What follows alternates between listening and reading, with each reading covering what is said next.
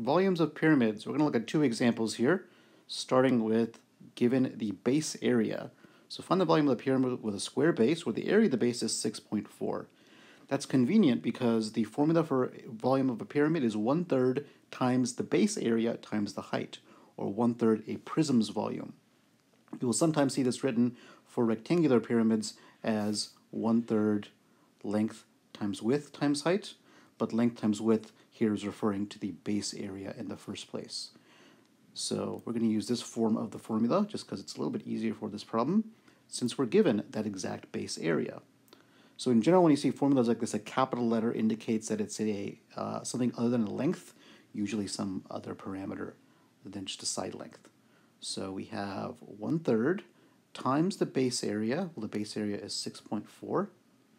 And at the height, and notice that's meters squared, and the height is 8 meters. So meters squared times meters gives us meters cubed. And let me draw the height in here, that's 8.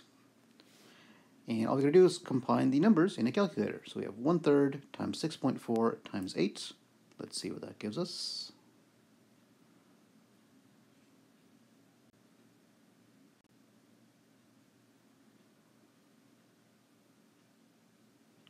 One third times 6.4 times 8 gives us 17.1.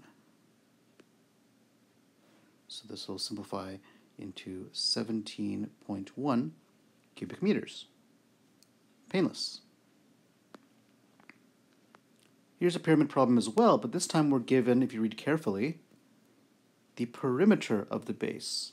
So naively, some people will just plug that number right in and proceed uh, as before.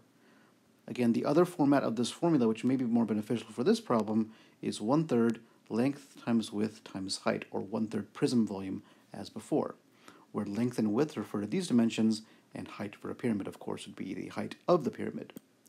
So this is a little misleading because we're given a perimeter of the base. Can't choose a color here that I'm satisfied with.